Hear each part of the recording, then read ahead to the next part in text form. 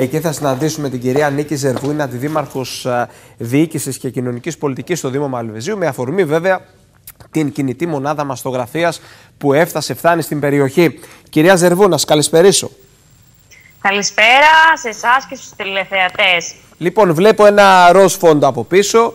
Έχει φωταγωγηθεί σε ροζ χρώμα, φωτιστεί σε ροζ χρώμα το Δημαρχιακό Μέγαρο, το Δημαρχείο και η κινητή μονάδα μαστογραφίας βέβαια από πίσω.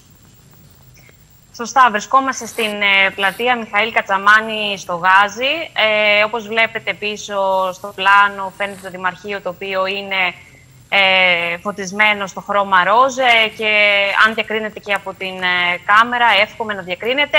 Ε, υπάρχει κινητή μονάδα μαστογραφίας ε, της Περιφέρειας Κρήτης. Ε, σήμερα πραγματοποιούνται δωρεάν μαστογραφίες στην, και αύριο βεβαίως στην πλατεία μας και η κινητή μονάδα βρίσκεται εδώ στα πλαίσια της εκστρατείας είναι στο χέρι μου ε, ένα μήνα τον Οκτώβριο που είναι αφιερωμένος ε, στην ευαισθητοποίηση, πρόληψη και ενημέρωση για τον ε, καρκίνο του μαστού. Είμαστε πάρα πολύ χαρούμενοι που βρίσκεται η μονάδα εδώ, διότι ήταν ένα, ένα μεγάλο κίνητρο για τις γυναίκες της περιοχής να έρθουν και να εξεταστούν.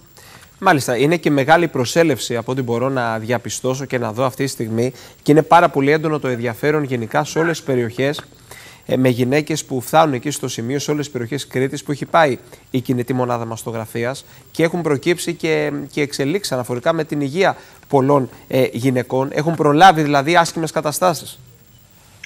Ε, μόνο θα ήθελα πραγματικά να ε, επισημάνω εδώ, όπως είπατε πολύ σωστά, η προσέλευση είναι πραγματικά τεράστια. Ε, είμαστε ιδιαίτερα συγκινημένοι με την ανταπόκριση των γυναικών εδώ της ε, περιοχής.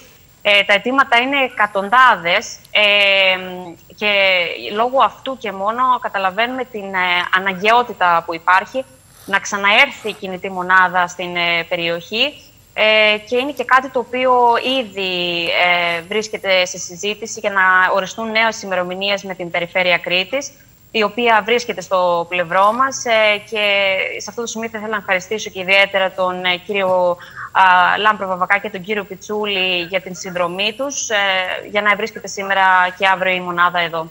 Μάλιστα. Να σας ευχαριστήσω πολύ. Καλή επιτυχία στο έργο σας και ας ελπίσουμε η κίνηση να αυξηθεί. Να είστε καλά.